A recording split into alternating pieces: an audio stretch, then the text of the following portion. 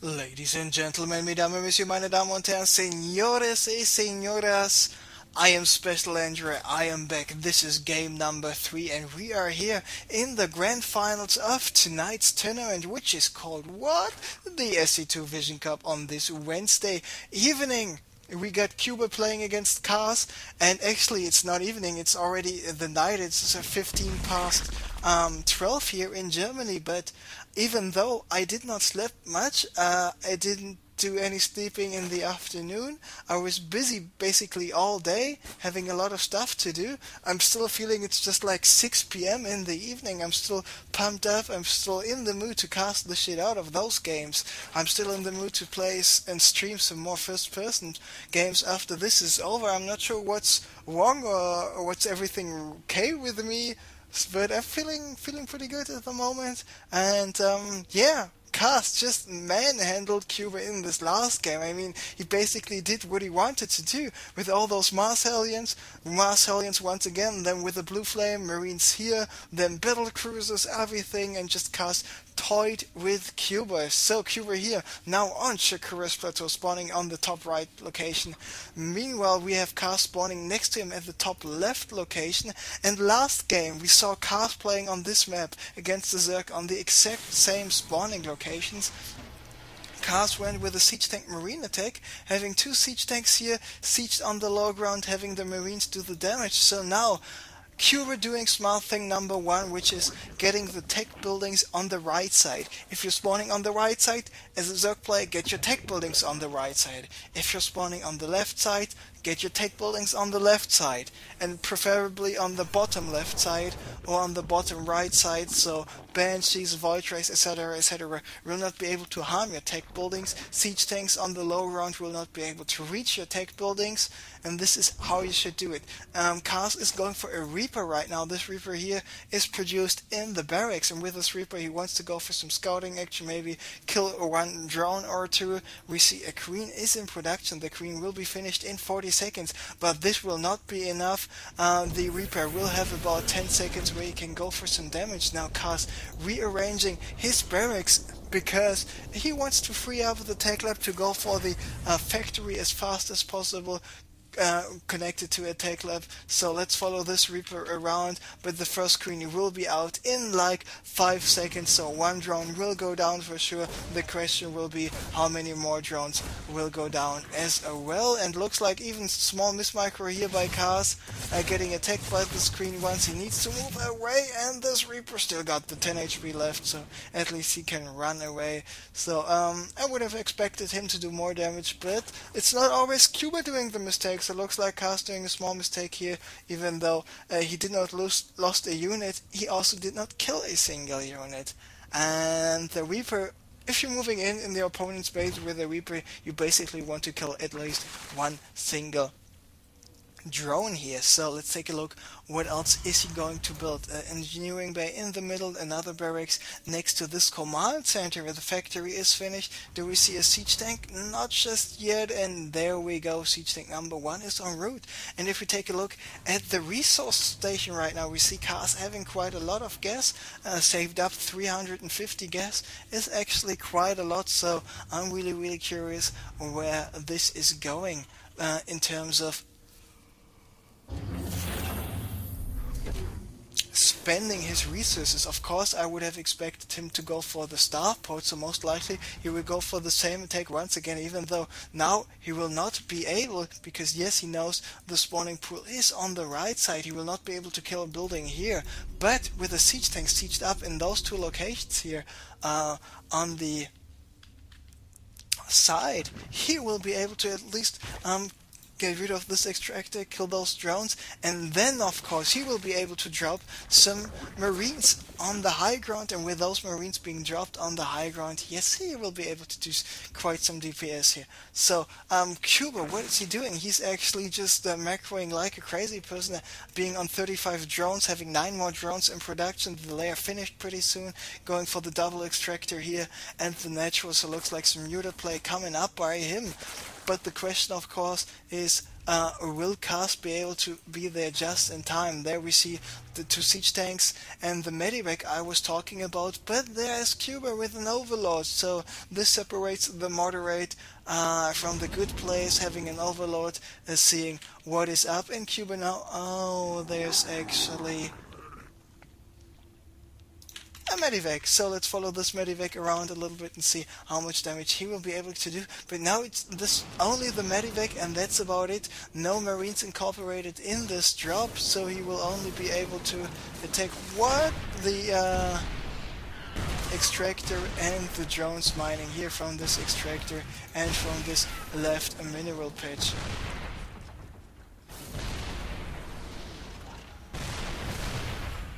And of course, if a Zerg player wants to go Mutas, having um, denying him 25% of a possible gas income, well, sure, why not? It's quite a good thing to do. And there we see Kuba is going for another hatchery here at this uh, location.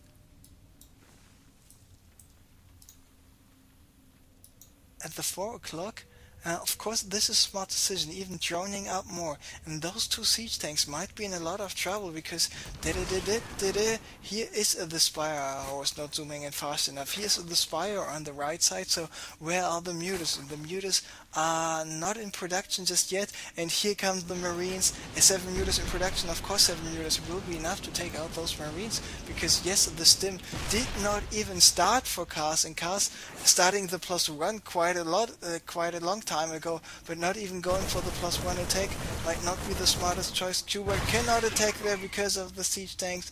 The siege tanks here at 9 kills, the other siege tank at 1 kills, and there are the mutas, and with the mutas out, he just can attack those forces a wide array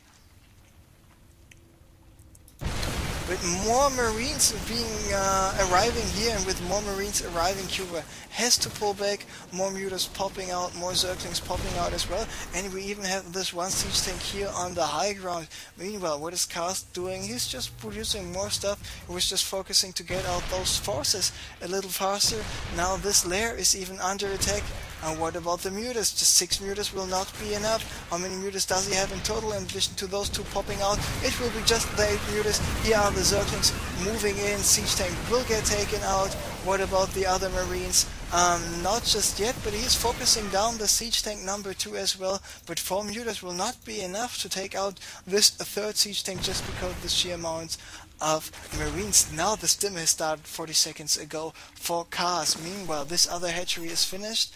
And he going for more drones, couple more drones, mainly Zerglings, more mutas as well, and more creep tumors being placed. Of course, if you're getting attacked in your own main base, you want to have the creep spread it all over the place in your own base to be just uh, versatile enough with their forces. Now with Kuba having 8 um, mutas, he should be able to, to uh, even maybe go for a snipe here on the medivac. This was on hold position, good job by him. Um, he should be able to snipe the siege tank as well. Maybe should go for the drop and the overlord speed because especially on this map, a drop is quite a powerful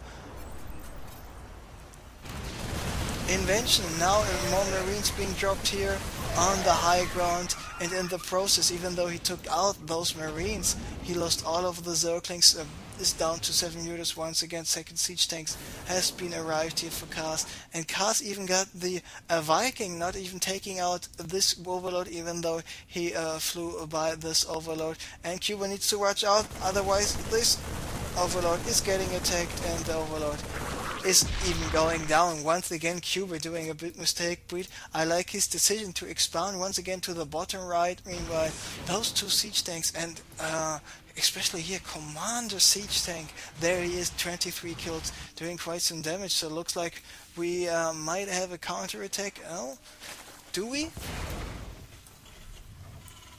No, we do not. Actually, I'm blind. Uh, so uh, no counter attack just yet. Ah, here are the mutas taking out the destructible rocks. And of course, with those destructible rocks being taken out, all, all he needs to do is just send in the Zerglings and deal uh, with the rest. Here are more mutas, here are more Zerglings coming in. But Kas got quite a lot of units out. And does Kuba know about those forces? Yes, he does know about those forces. Now he's taking out these forces, Siege Tank 1 and Siege Tank 2 going down. And he knew about the Marines. Why is he not getting any Banelings? He's just getting seven more drones? Was he not paying attention to the minimap or what is going on? All those drones will go down. He needs to run away with the drones, maybe buy himself some time for the more banelings. But there are the Marines and Kuba once again doing a big mistake. And will that be hit already? Because yes, Kas is up 2-0 and this is a best of 5 series. Where are the banelings? No need for the banelings to revive. Kuba not paying attention to the minimap, you just did not have the banelings out in time and GGing out of the game. So congratulations to Kas, just manhandling, manhandling Kuba here without a problem, slapping him left and right. So congrats to him taking home the 30 bucks. And yeah, that's basically about it with the casting part for tonight. And mm, I'm just uh, in the talk with the uh, admins of the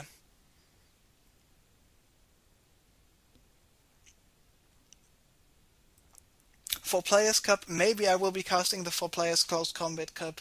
Uh, there's still some stuff to sort out. As soon as I know, I will let you know, of course, on the usual sources, which is my Facebook account, facebook.com slash specialandre. If you want to check out some more VODs, maybe check out my YouTube channel, youtube.com slash user slash specialandre, or just, you will find every information you need on my webpage, andre.com, specialandre.net, and fuckyear.tv, and one more other important thing is my own tournament and if you want to participate in my own tournament as a player it doesn't matter if you're high masters or low bronze league um, you can check this page it is bitsperbeat.com slash uh, Andre. There you can sign up. Thanks to Sugar, by the way, for this awesome background. Here, the logo in the top location. And here, the cigar box on the left side even says it's special Andres. Isn't this awesome?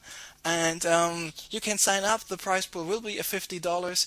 Um, you will can get uh, you will be able to get another three hundred fifty to five hundred dollars in a eight man player invitational. Um, the prize pool is sponsored by myself uh, and uh, some donations I received. So thank you very much to everyone who donated. Um, not just sure if we will be able to secure the $500 because the $500 prize pool will be uh, a magic wall, so to say, to get the best of the best. And um, that's of course my goal. We will have a couple of qualifier tournaments and then the main events. And Kas, by the way, is one of the invites. He just uh, he confirmed his uh, participation in the tournament. So all the best players in the world. And of course, the tournament is starting next week, next Wednesday. So in six days, 18 hours, 31 minutes, and 54 seconds.